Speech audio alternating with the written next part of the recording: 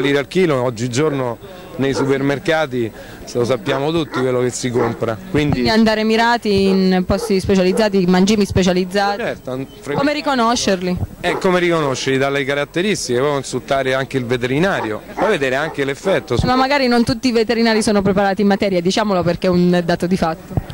Beh. Io personalmente ho avuto diretta Ecco. esperienza.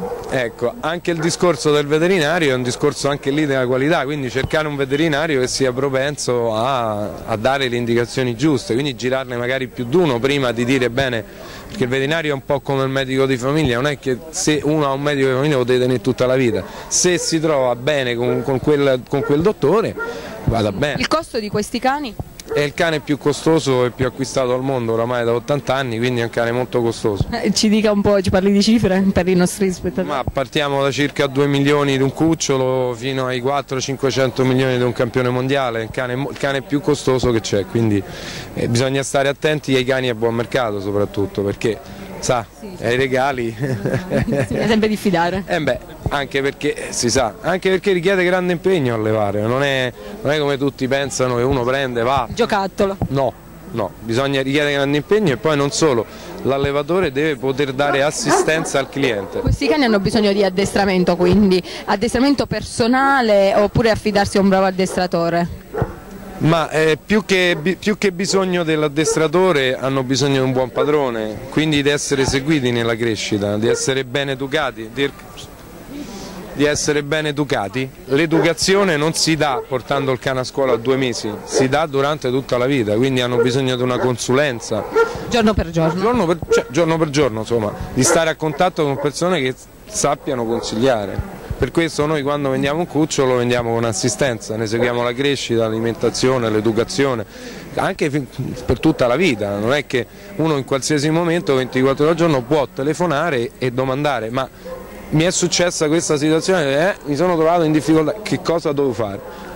Voi date... Esattamente, importante è l'allevatore, per questo raccomando a tutti di rivolgersi per qualsiasi razza all'ente nazionale della cinofilia italiana, al gruppo cinofilo di zona, domandare l'elenco degli allevatori, che quantomeno ci possa essere una rivalsa sui cuccioli malati, sui cuccioli mal venduti, insomma, costeranno un po' di più ma un motivo ci sarà pure. Certo, grazie. Prego.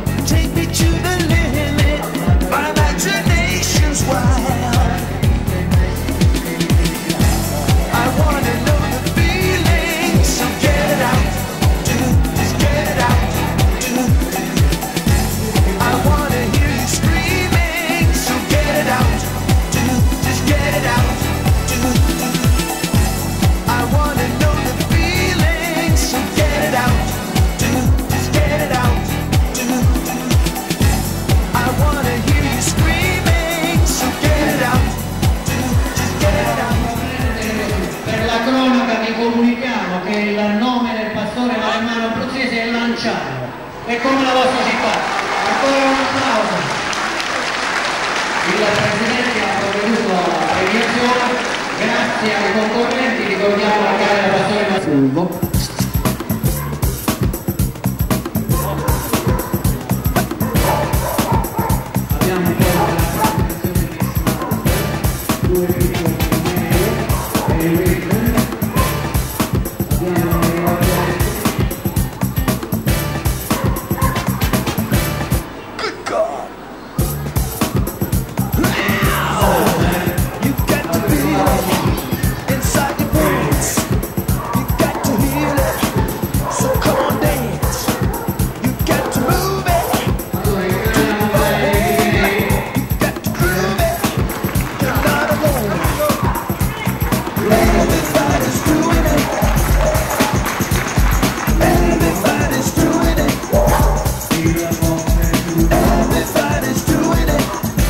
Arruda Sardete.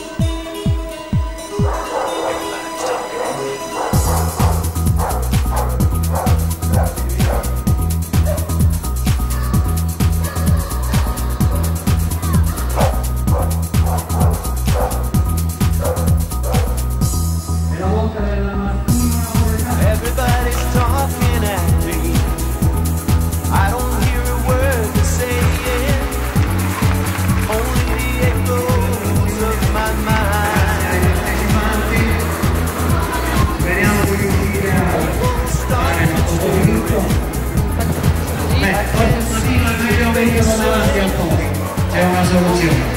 Anche perché tra boxer e Mestino non c'è molto accordo.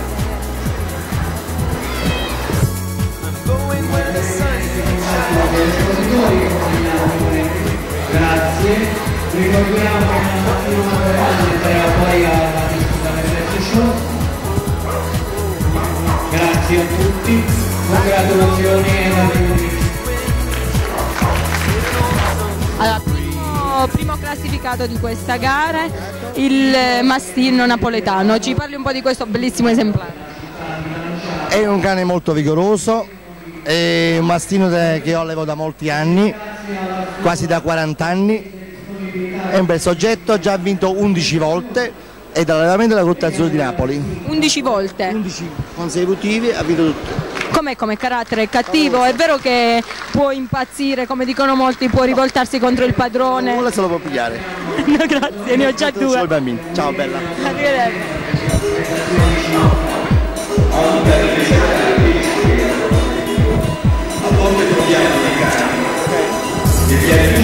L'associazione cinofila di Pescara è partita dall'associazione, che ruolo ha avuto questa associazione in questa manifestazione?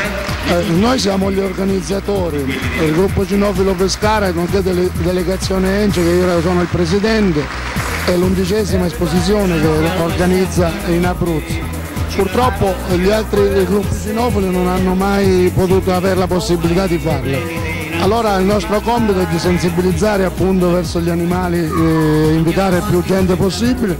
Eh, l'anno scorso l'abbiamo fatta a Silvi, quest'anno a Lanciani che gentilmente ci hanno ospitato, ospitato e colgo l'occasione del sindaco e tutte le autorità che veramente si sono messe a disposizione per la loro collaborazione. Il prossimo anno chissà dove andremo. Lo scopo nostro è di far conoscere sempre questa manifestazione che non ha scopo di lucro, perché per noi è un volontariato, ma è semplicemente, è semplicemente vogliamo semplicemente dare un messaggio a- che la- fare cinofilia oltre, oltre che diciamo come attività sportiva ma è anche a livello culturale perché da anche piccoli allevatori poi saranno per stare al passo con i tempi automaticamente dovranno conoscere un po' di veterinario, conoscere più il carattere, la psiche del, del- del cane e averlo sempre più vicino e mai magari maltrattato. E si possono rivolgere a voi gli allevatori?